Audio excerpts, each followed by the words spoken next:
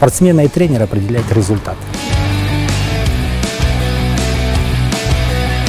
Вас по какому критерию отбирали? Кто выше? Кто выше, да, кто выше.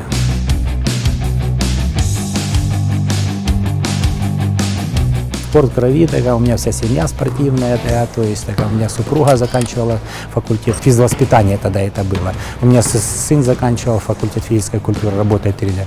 У меня внук так занимается теннисом, там, чемпион Крыма. Тренер не тот, к- который гладит по голове, а тот, кто приводит к медалям. И это, чтобы привести к медалям, это каждый день надо так, решать какие-то вопросы. Надо каждый день тренироваться.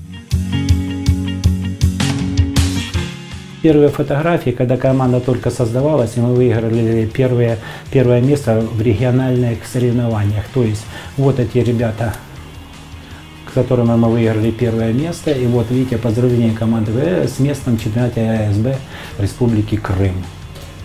После этого мы выиграли э, Кубок Крыма, вышли дальше, стали чемпионами Крыма. Ой-ой-ой-ой, пошли! Поехали, раз!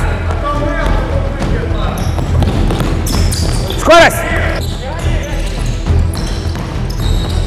И в защиту нынешнего поколения. А, Что можете сказать? Какие они сейчас, спортсмены молодые? Конечно, студент сейчас пошел другой. А в чем это заключается? Потому что у нас не было раньше компьютеров, а у них сейчас есть этот компьютер. И он занимает очень много времени в их личной жизни. То есть у детей. Они начинают что? С детской спортивной школы. А без детской спортивной школы, конечно, не будет и студенческого баскетбола. А студенческого не будет, наверное, не будет так и дальше профессионального сп- спорта. Да. Ну, это как это все сложить, что да, когда у него забрать этот компьютер, или когда у него это забрать этот пейджик, да, до тренировки или после тренировки. Вот в этом только может быть заинтересованность. такая. Несмотря на то, что они все-таки играют в компьютерные игры, да, и отвлечены таким образом, а спортом занимаются и каких-то достигают результатов, тоже благодаря вам. Каких результатов вы добились со своей командой? А, каких результатов добились? Ну, если только считать э, с самого начала карьеры, то, конечно, мы еще с женской командой, когда я работал с женщинами, мы тогда были чемпионами Украины и победителями универсиады такая Украины здесь. А с ребятами, в принципе, у нас э, наи- самый наивысший результат, это, конечно, второе серебряные медали на, в Лиге ВТБ, на первенство России, студенческая лига есть такая. Ну и, конечно, чемпионат Крыма. Отчасти это ваши достижения. Ну почему мое достижение? Это наше общее достижение. Конечно, если бы э, не помогал ректорат, не помогало Министерство спорта, так, не помогала Федерация баскетбола. Конечно, всего это в целом, мы все по чуть-чуть, по чуть-чуть, но, конечно, вроде приходим к этому результату. Вы знаете, что чем больше выше результат, тем больше нужно вливание, финансирование и так далее и тому подобное. А мы напомним, что вчера команда из Крыма показала свой характер, доказала, что она достойна биться в четверке лучших. А пока средний показатель за сезон команды КФУ. 78 очков забивает среднего эта команда. Делает 17 передач. Ну, о первых шагах в спорте, наверное, как у всех э, детей, у всех пацанов было, когда в школе, учились в школе, тогда в мое время было очень много секций. тогда. В каждом, можно сказать, доме культуры была секция. Это вот у нас был, там, где я проживал, там был э, небольшой район так, возле шахты, так, и там был дом, дом культуры. Там была секция бокса, начинали с нее. Потом так, кто-то в классе говорит, так, а я хожу на легкую атлетику. Мы тоже все поднимались и ходили на легкую атлетику. Потом на плавание там, и так далее. Там. Ну, естественно, футбол не, не мог обойти. Да. Ну, а баскетбол получилось как? Э, где-то в седьмом классе, в седьмом классе пришел тренер на урок физкультуры. И выбрал просто ребят, которые стояли первые Я был третий. Нас троих так отобрали, и мы начали заниматься в детской спортивной школе. Вас по какому критерию отбирали? Кто выше? Кто выше, да, кто выше. Ну, ясно, кто выше, там так а что-то пробежали, что-то прыгнули, так оно вообще в основном по критерию, кто выше. А вообще в баскетболе это важно, да, чтобы человек был высоким, чтобы а, максимально мог ам, достать до кольца. Нет, так, а достать до кольца он может э, по любому, если у него хороший прыжок. да. В принципе, э, Очень такая демокра... баскетбол демократичный вид спорта. Вы посмотрите, в борьбе есть такая весовые категории, в боксе есть весовые категории. Там, как говорится, а здесь такая человек может и с маленьким ростом, и со 100 килограммами тогда, участвовать в играх. Да. Конечно, без больших ребят мы не обойдемся, да. вы же знаете, что да, такой был знаменитый тренер Александр Яковлевич Гомельский, он сказал, так, на Гулливера будет ходить всегда. Но, насколько мне известно, вы увлекались и футболом, и волейболом, и выбрали э, в итоге баскетбол. Почему? Вы знаете, я вам еще могу одну историю рассказать, почему-то. Есть такой тренер Кондрашин, который в 1972 году привел э, к Олимпийским играм, к золоту Олимпийских игр через 40 лет после того, как американцы завоевывали все золото. Ему точно такой же вопрос задали. Вы были, говорит, хороший футболист тогда и баскетболист. Говорит, ну почему вы, говорит, выбрали баскетбол? Он говорит, когда я, мы играли в футбол, мы после этого собирались, э, пили вино и играли в карты. Ну, говорит, а в баскетбол, говорит. Мы также после игры, говорит, собирались, пили вино и играли в карты, говорит. Но в чем же разница? Почему все-таки баскетбол, говорит? Мы, говорит, баскет, так, а футбол, когда в футбол играли, мы играли в дурака, а в баскетбол мы играли в проферанс.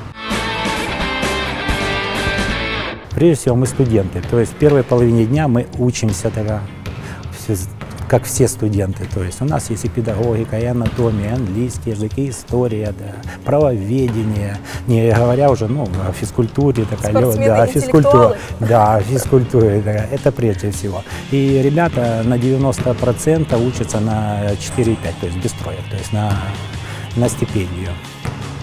А второе, вечером мы, конечно, даем такая уже специализация у нас баскетбол. Они, в принципе, заняты целый день. Баскетбол – это командная игра. А как нужно себя вести в команде, как э, сотрудничать правильно, чтобы достичь хороших результатов? Ну, конечно, должен быть коллектив. Коллектив, как говорится, команда, которая это один за всех и все за одного. То есть нападении посмелей, в защите помогаем друг другу, пожестче. Такое, ну, это самые распространенные, обыденные, как говорится, фразы. Ну а по большому счету, ну, что можно сказать? Ну, командная игра, конечно, это не личная. Это в командных так, видах спорта это тяжелее намного добиться чего-то, достичь, да, потому что личные, тут у нас такой парень Усик, так, он стал так, чемпионом мира, так, мы все мы гордимся этим, все. А чтобы создать команду, да, чтобы какой-то результат достичь в команде, это, конечно, да, это 15 человек, 15 разных характеров, 15 разных судьб, у каждого свои проблемы. Ну, как они решаются и как их сделать, э, заточить под одну идею, это, конечно, все индивидуально и все так, как, да, и непросто. А у вас в команде так? Вот все друг друга поддерживают, дружат, например? Ну, я думаю, что да. Думаете, да. или так да. и есть? Нет, так и есть. По большому счету, если они выходят на площадку, они так забывают э, всякие там свои неурядицы, да, неурядицы. Ну, вы, в принципе, молодежь э, сейчас хорошая. Как часто меняется состав команды вашей? Ну, специфика такая студенческого баскетбола э, в чем заключается? То, что ребята заканчивают вуз и уходят только в жизнь. Да. То есть новые приходят первогодки, они заходят в команду, а ребята, которые получают бакалавров, то есть четвертый курс заканчивают и не желают учиться на магистра, они уходят в жизнь. То есть каждый год у нас обновляется, получается, состав.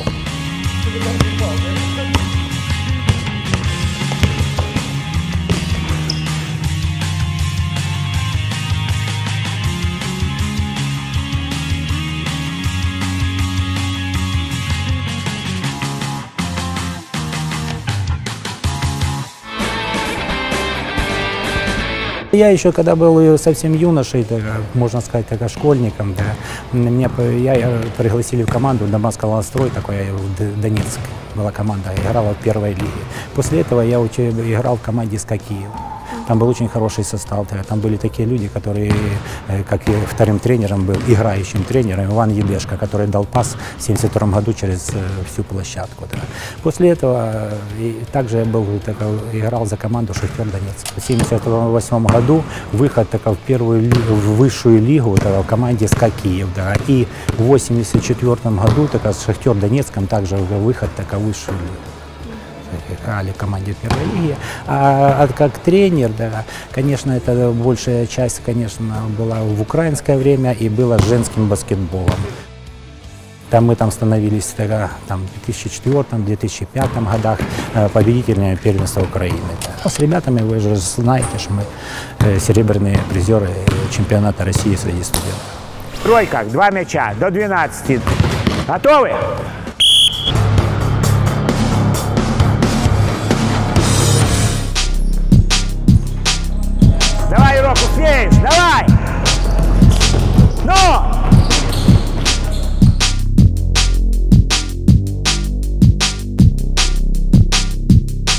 Спорт в крови, такая, у меня вся семья спортивная, такая, то есть такая, у меня супруга заканчивала факультет физвоспитания тогда это было. У меня сы- сын заканчивал факультет физической культуры, работает тренер.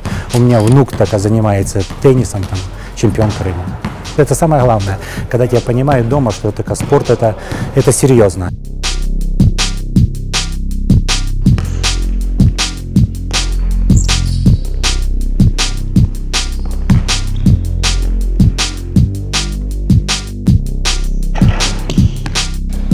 Валерий Михайлович, э, наверняка у вас есть какой-то лозунг или девиз по жизни, э, которым вы пользуетесь часто. Пользуется, такая, ну как пользуется, я и ребятам говорю, такая, вы любите баскетбол, верьте в себя и ставьте перед собой цели, которые вы, такая, к которым вы должны идти.